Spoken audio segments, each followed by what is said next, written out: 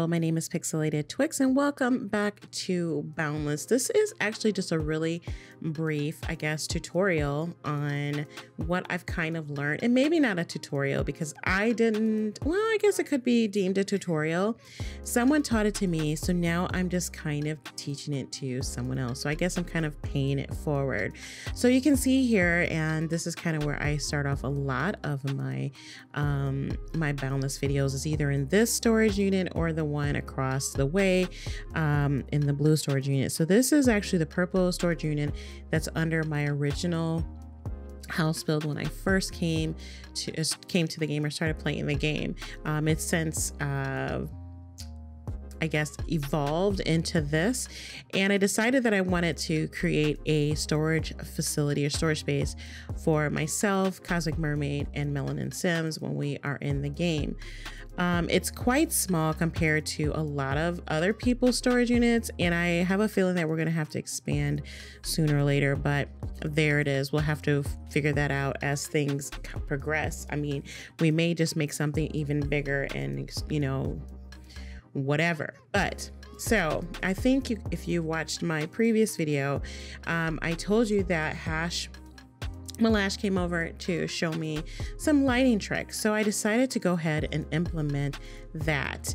Um, so I do not have the glass pane. So we are just going to, what I'm going to do is kind of show you um, how I do it with just a couple pieces because uh, I may have the glass pane. Let me go see. I think I need plain glass and I really don't have that. You know what? This is what we're going to do. I don't have the plain glass, but what I will do, um, I have a character, my crafting character, and she does the majority of um well she is my crafting character. She does all the crafting um for me. Um this is my main but she's more or less my farming uh, when I go out farming. And what I mean by farming, I mean mining, not exactly farming in the game. But um, she does most of my mining and my hunting. Well, not hunting quite yet, but I, I much of my exploration. You can see that I'm kind of working on the floor here too, and I'll give you and show you what I did here. Um, I'm still kind of playing around with that. Okay, so um, let me hop on uh, Dark Shade and I will show you how I uh, make glass panes. I will be right back. I'm in Veruca Cat's uh, workshop on our, our settlement or near our settlement, and he allows us to use uh, use this because it obviously you've probably seen this already, but it's just amazing. And what we have in our workshop is nothing compared to this. So um, you basically have this thing called a um, refinery, and refineries you can use to create things like this signs, uh, gleam lanterns, door locks, all kinds of stuff furniture, doors, trap doors, um, and all the pretty gleam and things like that. So as you as you um, specialize, you more options are available for you to create. And there, of course, um, the prettier it is, um, the more difficult it is, or the more um, I would say um, the cooler the thing looks, probably the more um, ingredients it takes to create yeah the rest of the ingredients it takes to create it. Anyways so that was just a brief um, look into make creating um, anything in the refinery.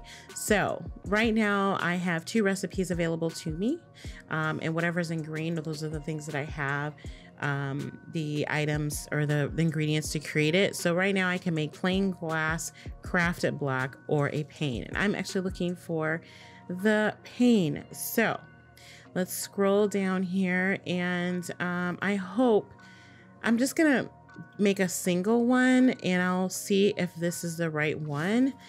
Um, this looks like this might be it. So we'll see. It takes about 24 seconds. Obviously, you can see that.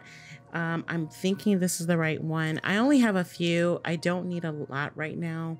Um, this is that silk yellow that I made. I'm kind of mad about that. I might, I don't know if I'm going to be able to sell this.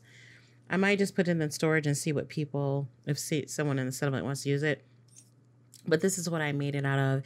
So that was a rookie mistake. Definitely did not know. Won't do it again. Knowing is half the battle. All that jazz. Don't do it. Learn from me. Take notes. take copious notes. Um, so let's go back here and check. All right, so I believe you guys, we have our plain glass pane white. Perfect. I'm gonna go ahead and create the rest of these and I will um, see you guys in the storage unit. I have my five little panes in hand. Um, I did make a lot of glass. I knew that I was going to need a little bit more than I had, but I just wanted to show you guys really quick what um, I've been doing. I've got this plain glass here and it takes some took some finessing to get this to um, lay down horizontally, but um, I, I kind of had to figure this out because at first it wasn't doing that and it was kind of frustrating. I was trying to figure out like how are these people getting it to lay because it wanted to of course lay like a window. It wanted to um, lay down like a window would, right? A normal window would. Um, so anyways, this is corruption, ancient corruption to be specific. And oh, okay, now this is the hard part. This is why I'm showing you this because this is is what's been happening and some of yeah, it's not going to lay down. So what I have to do now is um we're going to do this. Um and I'm going to have to break all this glass and I will show you what we're going to do. I'm going to jump down here and I'm going to lay the glass down or I'm going to um, align these up the way I need them to go. And then I'm going to come in here with this warp conduit. Oh, I love the way the warp conduits look. And I've actually, warp conduits are very, very cheap you can make them or um, i've found them just from in exploring planets and coming across dormant meteorites which let me tell you those are like my favorite things to find in planets because you can find oortstone in their cores and um, i've been seeing them quite often because meteors hit all the time and people aren't there to fight the um, meteors are like rifts. If you've ever played um, the mmo rift or even World of Warcraft, they there's like I forget what they're called, but they happen every so often. Something will open up or a portal will open up, and there's monsters or, or, or elite monsters that come out. That's what kind of that's what meteorites are like in Boundless. Um, so they hit often on. Um, it seems like they the not like ah, see here we go. So this is what I'm gonna have to do. I'm gonna have to break this one, I think. All right, so it doesn't seem like meteorites would hit my planet Tana, but I'm thinking like other higher tier um,